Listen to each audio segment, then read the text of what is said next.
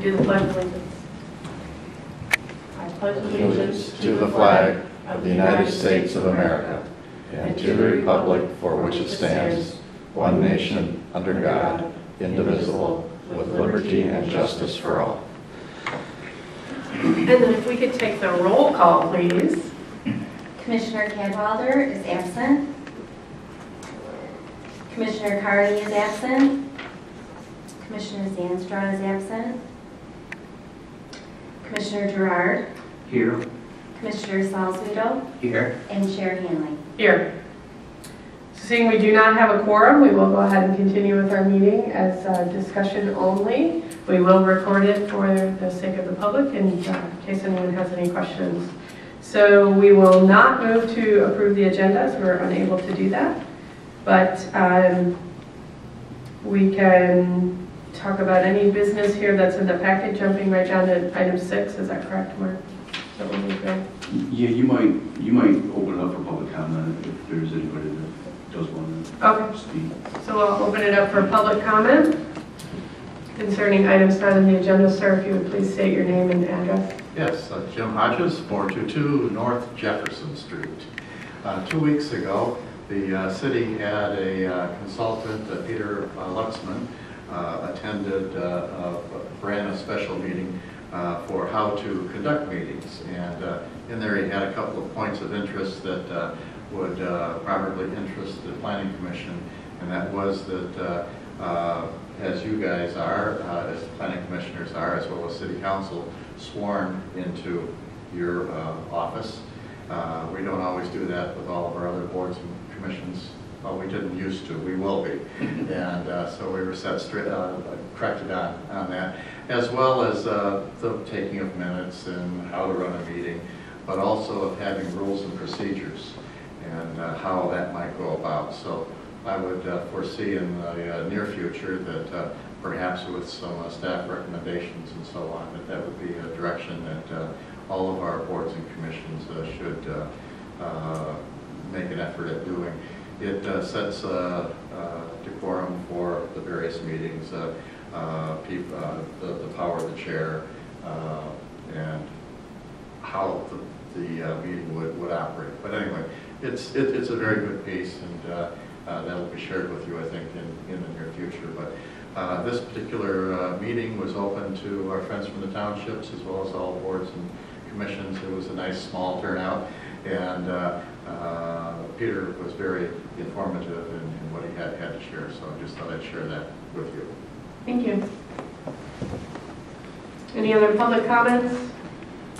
Seeing none, we can move down to uh, the new business items here, redevelopment liquor license approval process. Yes, you'll see in your packet, uh, it says at the top of the page, City of Lowell redevelopment liquor license approval process. Um, Just to give you a little bit of um, a background, um, redevelopment liquor license are are licenses that are allowed by the state within certain zones. Um, One of those zones would be a downtown development district, and the city of Lowell has a downtown development district, so um, there is some eligibility for these licenses. There, it, there, if somebody's gonna request the license, there are certain requirements that need to be met, not only at the state level under, under state law, um, but, um, we have the ability to, um, uh, to some extent, and I don't know what extent that is, but to some extent say that, um, you also have to meet some of our local, certainly our local codes and, and local zoning would have to be met. Um, we had a request for um, one of these. We, we have two of them in the city of Lowell, one at uh, Flat River Grill and the second one at Main Street Barbecue. Um, My understanding is that um, when the one for Flat River Grill was approved, or when it went through the process, the law was a little bit different in terms of what steps were required to, to be taken. And and I haven't gone back to verify this, but I was told that it went through the DDA, and the DDA maybe made a recommendation to the council, and then the council approved it, or, so there's some DDA involvement in it. Um, as the next one came before us about a year ago, Um, We, the law doesn't require any DDA approval, so we took it directly to the city council. And there were some um, folks that were concerned not only about the development of liquor license, but also, you know, what is the process for this? And, and and how do you walk this through um, city government with, with, you know, maximizing transparency and and allowing for uh, maximum public input? And uh, we didn't have a process in, in place, but I took those comments after that license was approved, I took those comments to heart and um, talked with some of my colleagues in other areas, and and actually, much of what you see in front of you- is um, taken from City of Brighton. And uh, they're, um, what I found out, uh, are ones, um, a municipality in the state that really has worked very hard on this and and really is uh, um, put together a pretty decent process. So we plagiarized quite a bit from that, um, but then inserted some local things as, as well to, to make it our own. And um, what I've done then is uh, put together this draft process. I've had a discussion with the DDA about it. My discussion with the DDA it was, do, do you want these coming to you for approval? Um, Because you have this balance of we, we want to be open for business. We want this community, we want this city to be open for business, and we want to make it as easy as possible um, for somebody to start a business here. And, and part of that for a restaurant business is getting a redevelopment liquor license. Or, um, you know, the other side is that you certainly want maximum public input, um, you want maximum transparency in the process, and, and so you've got to find a balance between the two. And the DDA said, we really don't, you know, we don't feel that it needs to come before us for quote-unquote approval, but if you can insert into the process that DDA members are notified that this application has come in, um, then that would be sufficient for us. And um, so we did that, and and I'm going to go over where that is in here, but we've also added notification to the planning commission. And, and that's why I'm talking to you today, because I, I wanted to make sure that, because there can be some zoning issues that we're working on, um, as staff, I wanted there to be notification to you, so that, um, if you had any questions or had any input that you wanted to give us at a staff level before we, um, took it to the council, or even if you wanted to know that it was coming to a council meeting, you wanted to appear before the council and, you know, under public comment, um, and, and voice any concerns or any support that you might have for them. Um, So we inserted that into the process. So basically, um, the way this is laid out is, number one is basically the application comes in, uh, comes into the police department. Um, Number two is the police department forwards it to the city clerk. Um, Three is that the city clerk basically verifies that the application meets the requirements of the statute, that meet- it meets the requirements of state law. Four is that it meets local requirements, and and I'm going to go into those in a little bit more detail. Um, 4A um, would be, first of all, is the, is the request and the location of the request that's a use permitted by right, and does the application meet all the requirements of the city of Lowell zoning ordinance? Um, If it doesn't, that raises a flag for us to be able to say to the applicant, before we move forward with this, you may need to go through these steps with the planning commission, or there may be a variance required, or you know, whatever that might be, and so that gives us the ability to notify them at the front end of the process. Um, B is a request is supported by the master plan, uh, downtown development for, uh, authority development plan, or any other development guides applicable to the development district. Um, so it, it meets with our local plans as well. So not only does it meet with our code of ordinances, but it meets with our local plans. Um, C is there's no, uh, outstanding code violations. Um, and D is that, uh, there are no outstanding, um, taxes or, uh, debts, um, uh, to the city. Uh, Five then is this notification, once, once the clerk has gone through, verified that, yeah, it meets the local requirements, it meets the state requirements, we're going to now um, let the police department know that they can begin with their internal investigation, they have to do a- an investigation as well with, with this applicant. Um, But before we turn it over to the police, we notify, that's when we would notify the DDA and the planning commission, so that's where we insert you into the process. So you know that this thing may be coming. Police department proceeds with its investigation recommendations, that's one of the state law requirements, and that's a process they need to go through. Um, We also added at a local level, the police department will be notifying the current liquor license holders that um, we received this application. And I'm going to come back to this, just to make sort of a mental footnote, but there's, there's a, um, there's a discussion that we will need to have, a policy discussion that we will need to have about the various types of licenses that are, that are available and what that does in terms of competition um, within, within the business or within the industry.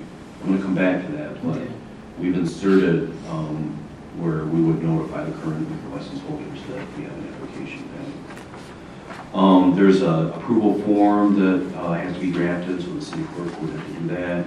Um, The city assessor has to uh, create an affidavit of public and private investment that's required under the state law. And basically, the the assessor is saying that there's been X amount of public and private investment within the district within the last X number of years. That's important because we have available to us under the statute, one license for every $200,000 of investment within the district, both public and private.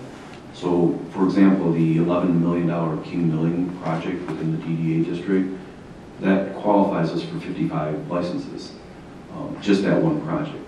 Um, The street project and, and the, the water lines that we're doing right now on um, Washington, Jefferson, and Jackson, that's a couple hundred thousand, that's one license right there. Um, So there will be a number of licenses that will be um, available within, within the district, and again, I'll come back to that conversation.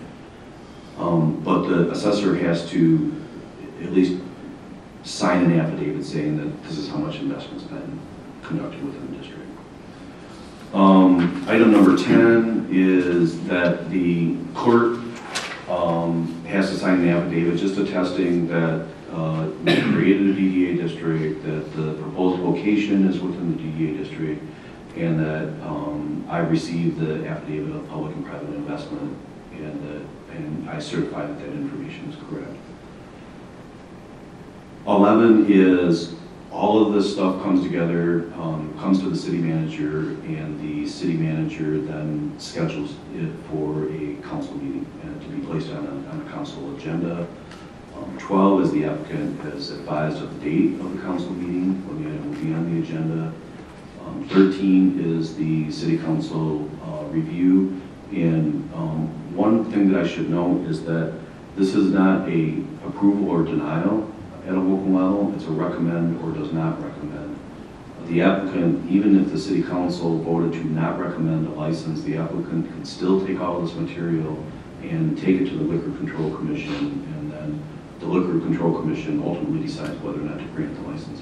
Whether they would grant it when a municipality is not recommended, I don't know, I don't know what that criteria is, I don't know whether they, they would or not, but It's not a local approval process, it's a local recommendation process. Um, Step 14 is after the council's taken action, the court finishes the, uh, the approval form, and then 15 is that we inform the applicant that the material has been completed, they can pick it up and they can take it to the Control Commission. So the, the policy issues for further discussion um, will be how many, I, I mentioned to you, there's at least 55 licenses available, potentially available right now.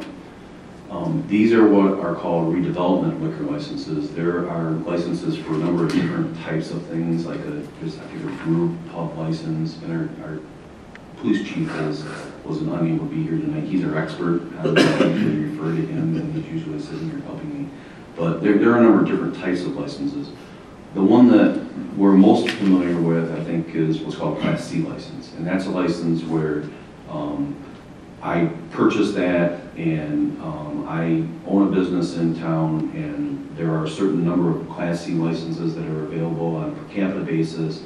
And I can take that license with me and I can use it in other areas if I want to. If I shut my business down in Lowell and I want to go to some other place, then that license is transferable. The redevelopment liquor licenses are not transferable. They're specific to the location and they're specific to the business. So the business could not move to a new location um, and transfer that license. They would have to apply for another one. Um, Or if the business closed down and um, the let's say there's a separate property owner and they want to open a new business there, they could not use that same license it's specific to the business and specific to the location.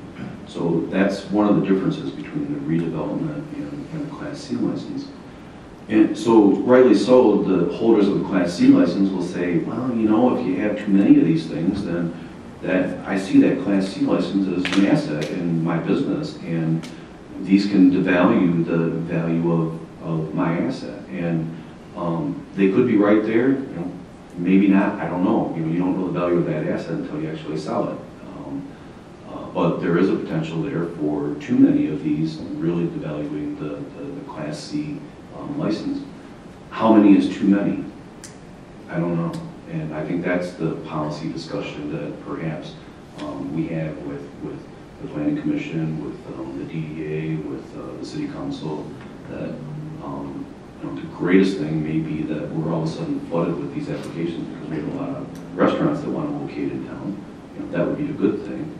Um, But at what point is the market saturated and should we be setting um, that in policy, or do you just allow the market to, to dictate that? So that's a, that's a policy discussion. So are you saying that the rest of the liquor license businesses in town are class C? And it's Yes. just those two that are that? Yes. Okay.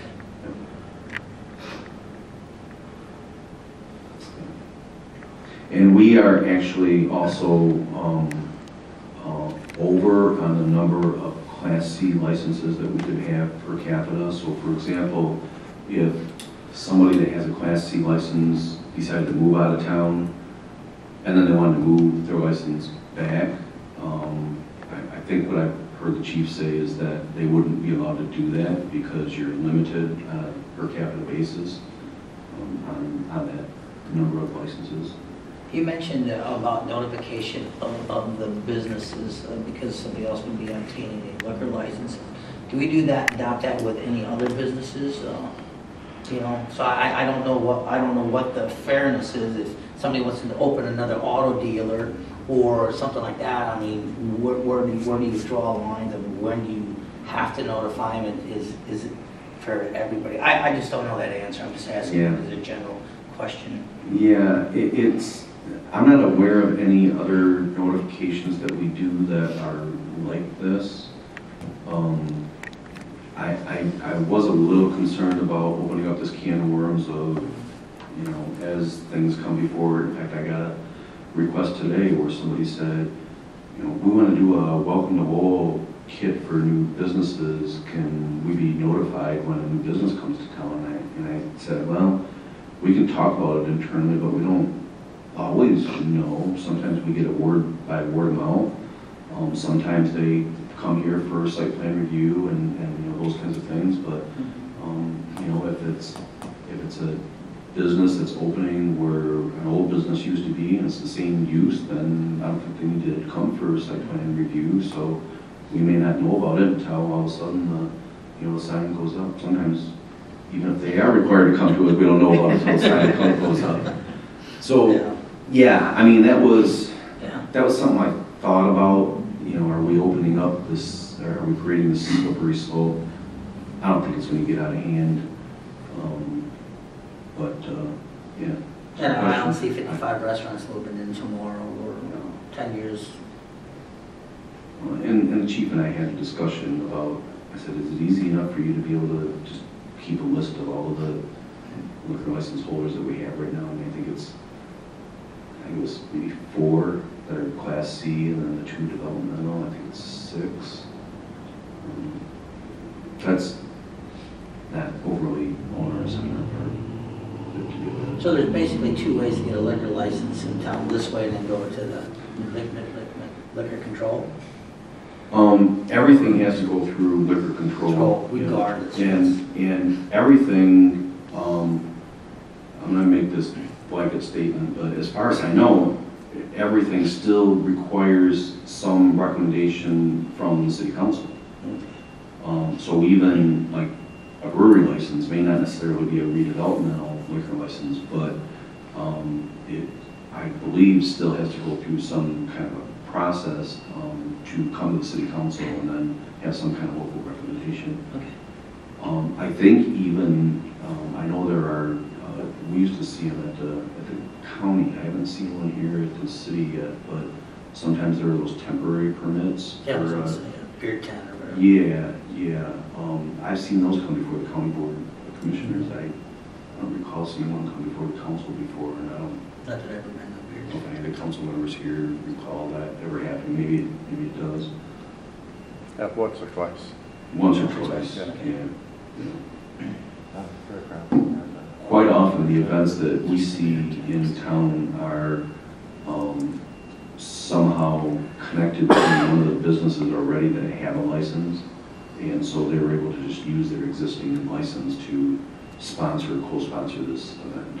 So the seventy-five thousand dollars is not that business doing rehabilitation to the building? Yeah, it is. Oh, it is? Yeah, so, so if I want to a redevelopment liquor license, first of all, I have to be in the DDA district. We're talking about item three E. Mhm. I have to, I have to be located in the district, I have to expend or at least um, attest that I will expend at least seventy-five thousand dollars for rehabilitation or restoration of the building. So I've got to, I've got to invest in this district, up, um, at least seventy-five thousand dollars. And then I have to have a seating capacity of not less than twenty-five persons. That twenty-five persons is um, being discussed. Um, I, I think I've seen where they're talking about maybe 50 persons, maybe changing the state law or something's going on there, and so I'll certainly update our process to reflect what the state How, how does that work when somebody was in there and they just did a hundred thousand dollar renovation, they last two years move out, and the next guy comes in? How does he justify spending seventy-five thousand dollars on a renovation when he could use it for the same purpose? I mean, You're not gonna do that though? That's, that's a business. no, I'm just Yeah. saying, I Yeah. mean, so, Right. Right. That would make that property maybe a little less attractive for them to. exactly. Yeah. Hey, There's hey, now we got two buildings done, right? Yeah, but we- once it's empty for twenty years and does us no good. Yeah. So I, I, I just think it's a little bit of both evils and Yeah. You know, it's nice to say, you know, I, I- I love to see a building continue to do it, but if it was for that intention, it's, it's- that's a lot of money. Mhm. Open for discussion, that's what we're doing, right? Yeah, exactly.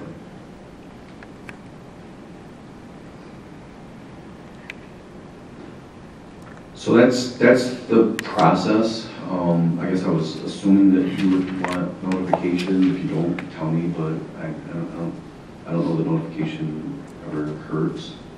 Um, You know, I think it's good to keep the planning commission in the loop and, and, and I think there will be a point in time where, um, we may want to, uh, um, engage in that policy discussion.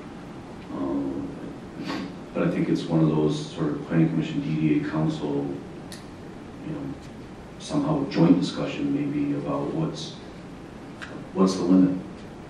I mean, there, there, there may be a limit, although some people might say, hmm, just let the market drive it. Maybe we don't set a limit locally. Yeah, I mean, I think you, if you're gonna open a business, you're gonna have to do the research to find out, mm-hmm.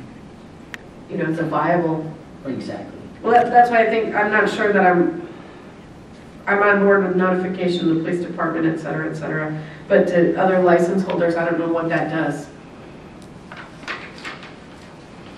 I, I think it at least gives them the opportunity to, if, if they have some concerns, um, to attend a city council meeting or to, uh, maybe, maybe they happen to, um, you know, know whoever is proposing this business, they came from the other side of the state, but they were, you know, didn't have a great relationship with the community, they were in, in the other state, and so, you know, they might know that and are able to bring that to the council's attention and to, to the police department's attention.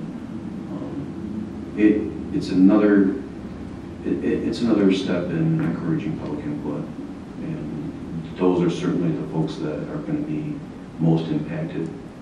Um, But it does get into the issue of Well, then the local prohibition group wants to be notified too. I mean, you know, right? I mean, it is a big can of worms, right? But then Or, they you know, could, when O'Reilly's was coming to town, should we have notified all of the, the other three.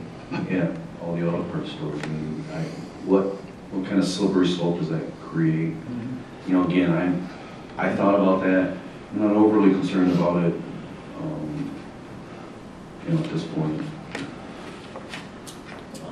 It definitely seems like the fad for breweries and all that stuff have gone up, is, is, is over because they're- they're still growing strong and, and it's just unreal. Not just here in Michigan, but Wisconsin and other states too. It's just, just booming business.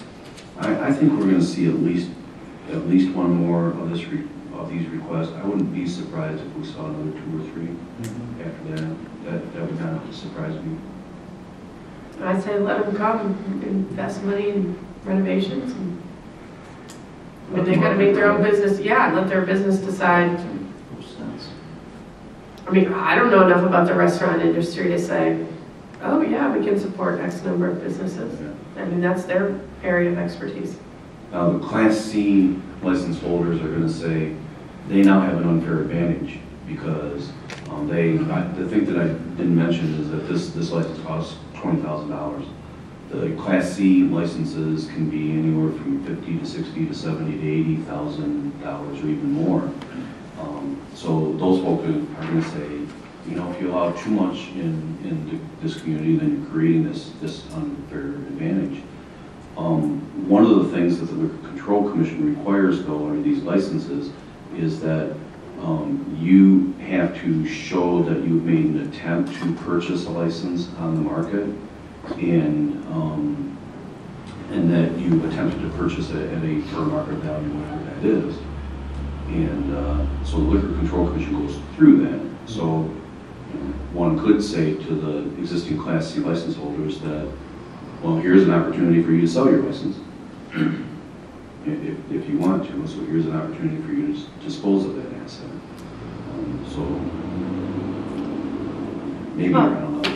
Yeah, if It's you have a policy Class C, you own it, you own it, so you can, I mean, it's valuable wherever. If you get the, this one, then you're, it's here. So it's less, I mean, valuable today, but maybe not five years from now. Yeah, this one, right. Yeah. Right. This one is, it, it, it it may cost less, but it's much riskier because you, you cannot move it. You cannot take it somewhere else.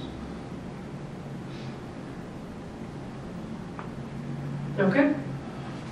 No voting on that? No. That's that issue. Um, yeah.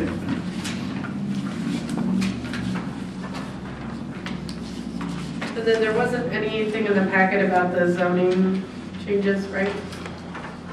I think that is the planning commission goals, priorities. Um, There's a 2015, and then there's, and there's eight items listed, and um, then there's a 2016. And I think as we're getting ready, I, I can't believe we're already thinking about next year, but Mhm. we're already thinking about next year, and we want to have some discussion with you, kind of like we did about this time last year. What, what would be your goals for the next year? What are, what are, you know, two or three things that you want us to, to focus on? One that we've added under um, 2016 is what is considered to be a hard surface. And um, there's a, a requirement in the ordinance that parking lots have to be paved surfaces or another surface approved by the planning commission. And the planning commission has allowed uh, crushed concrete, um, has allowed crushed asphalt. um, But during, during the course of that discussion, there were some members of the planning commission who said, yeah, you know, it's gonna depend on the circumstances. I don't know if we always want to allow this. And, and the whole point of not having, we certainly don't want gravel lots, um, because we don't want to create, um, you know, dust and, you know, all that kind of stuff, or be tracking things on the city streets. Um, But there does seem to be, or did seem to be some support for crushed asphalt, crushed uh, concrete.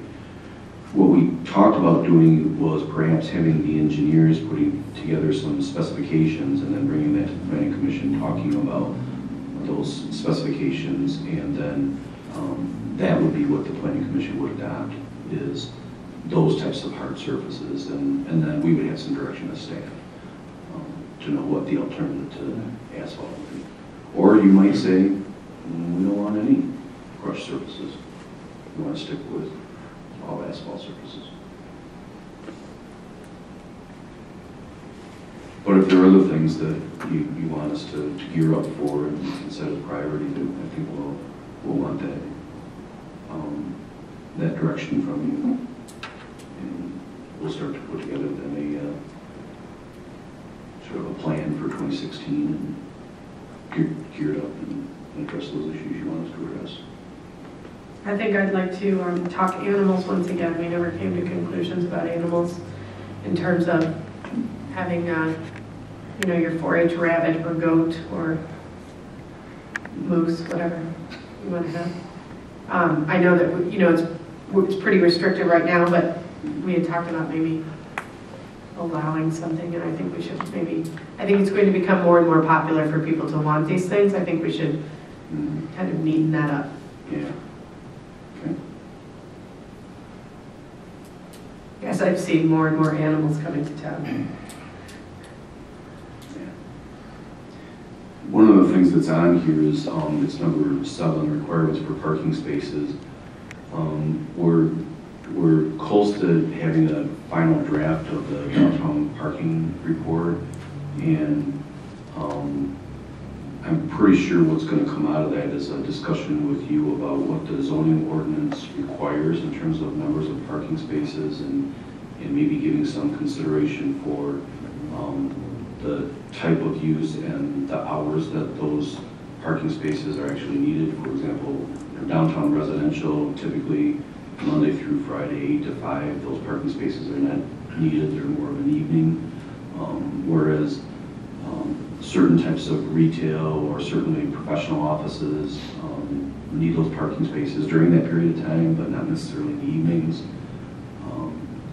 A restaurant may not necessarily need morning parking depending on whether or not they're open in the morning, but, you know, lunch and dinner, evening parking is, is needed. Um, So we may bring to you, once that report is completed, um, at least some discussion on whether or not you would want to consider, whether or not you'd want to consider some ordinance changes that create a little bit more flexibility. On that ordinance, are we just looking at normal work days and, and not necessarily events? I don't know if we'll ever find enough parking when you're holding the festivals that, that we hold Yeah. during, during the course of the Saturday, Sunday, long weekends. Yeah. I think it's more an issue of, um, uh, you know, a business wants to move into a downtown building and um, the parking requirements for that type of business are that you have to identify 10 spaces. Um, So where are those 10 spaces? Well, we've actually gone through the process of looking at every existing building and what the parking requirements might be um, under the existing ordinance um, to see whether or not we have enough parking spaces. And we know we're already deficient, just with the way the zoning ordinance is written right now. And then as you project that out over the future and what the future uses might be, obviously we're deficient in that way as well. So do we know what that would be, the max, if every business was open and every store was Yeah, open that's in in the downtown? report. We have that? That's in, you know, that'll be in the report. It'll be, it's- it's a great report. Um, Did you write it? Why it's a No, great report? no, Williams and Works uh, worked on that uh, for us, and, and they actually um, had one of the the guys that did the data collection, I think spent a couple days in Okay. town, you know, also looking on GIS, looking on, on the maps and things like but I think I spent a think we see that in town. every parking spot. It's in the, it's in the report. It's, it's gonna be a great report for, for this town in terms of, especially for the planning commission.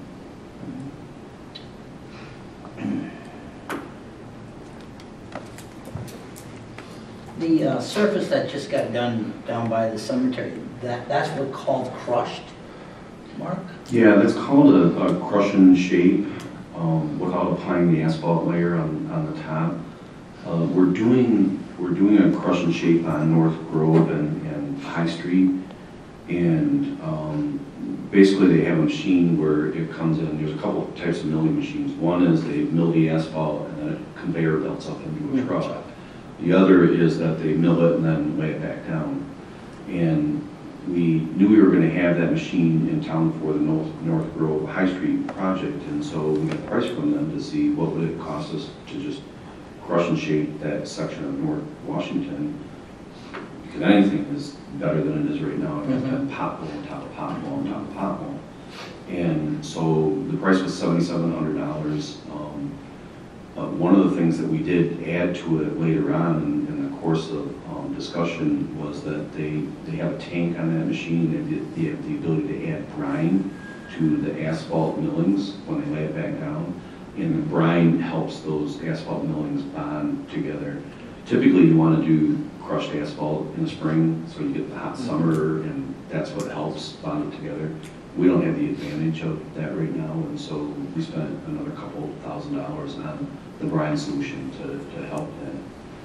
Will there be, will there be a a layer of um, tar going over it later on, maybe not this year, but hold that together so? Yeah, I I mean, I don't know how it holds or, or what the whole thing is, that, that's not my specialty, but yeah. I did drive down it, it was much better to drive down. Yeah, I, we think it's gonna hold together for, for some time. Um, Paving that section is not in our five-year Right. plan. Um, It, just off the top of my head, I, I, I would think it would be within our ten-year plan. We haven't gone out ten years yet. Um, The challenge up there is that the, the criteria we use on, on prioritizing streets is, um, is it serving public facilities, schools, churches, things like that? Um, Is it, um, uh, is it serving like as a spur to a residential neighborhood like Sibley? You know, it's one of those where most of Valley Vista, um, that neighborhood will come down to Sibley and then shoot over to Valley Vista, Palm Street or Ridgeview or, and, um, so does it, does it serve a neighborhood as a spur?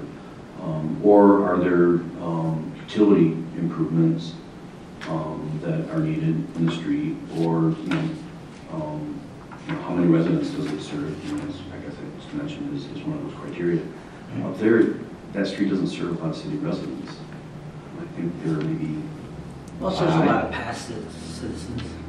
Yeah, there's, there's a lot of township residents um, up there. I'm not talking about the people that. I know, I know.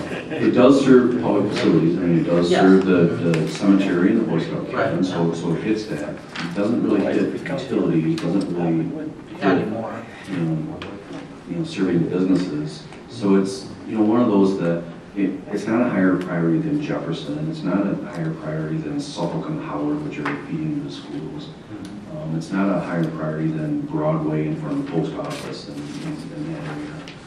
Um, But as we start to, to take care of some of those, it's not a higher priority than Monroe. Monroe is um, one of the busier streets in the city.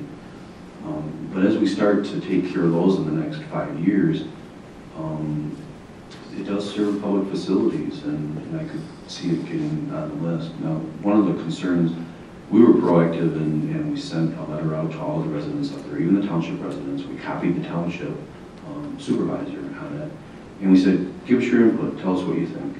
And it was about 50-50. Some said, it's better than nothing, please improvement. Um, The ones who were concerned were concerned about um, either the, the maintenance, that it would be harder to maintain and probably not maintained as often. Uh, There's a wet spot up there, they were concerned about the wet spot, which is really a more a culvert issue, a culvert cleaning and, and blocking issue that, that we're gonna look at. And they were also concerned that, well, gee, if we do this, you know, this is now temporary, and temporary has a way of becoming permanent, and um, we may never see our street get paved again, but I don't, I don't see that as the case. Um, You know, I see it as, we've already done the base portion of that street, and now when it becomes a priority for paving, then part work is already done. So, Good. Moving on to any kind of staff information.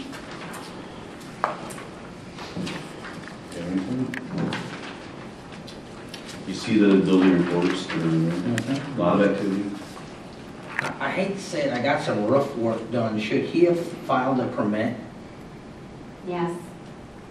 Do you want his name and number? Find him? Yeah, yeah, I, yeah. I hired him, I'm, I'm sorry, I didn't see my name on it. Unless he didn't, it didn't make the list. Um, I don't know what to tell you. Cascade Inspection Services, they require a building permit for that. Okay, New roof or repair? Repaired. Yeah, you should be talking to Cascade. I'll let him know. There's another new house going up in Highland Hills too. I haven't processed that one yet, so that's why it's not on the list, but we did just get that delivery the other day. Well, I was going to mention too, um, the mayor spoke under public comment about the oath of office and rules of procedure. Uh, We, I think, did a pretty good job um, three years ago of updating the planning commission's rules of procedure, and we tend to have that on the agenda for your organizational meeting every January. Um, That's sort of cycle that we try to do is, in January, you you elect your chair and your officers, and you also review your rules of procedure and update those. Um, We, we haven't done as much with our other boards and commissions, and we're going to start being more proactive in doing that with the boards and commissions. But um, you should have a copy of the rules of procedure for the planning commission, um, and maybe just make a mental note that a organizational meeting in January, it'll it'll be on your agenda again. So, an opportunity to review those and make any changes. Okay. Any remarks? I'm good. John?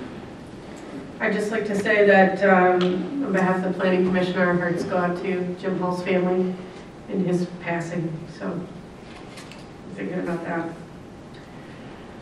All right. We adjourn or, Your adjourned. okay, seven forty-five?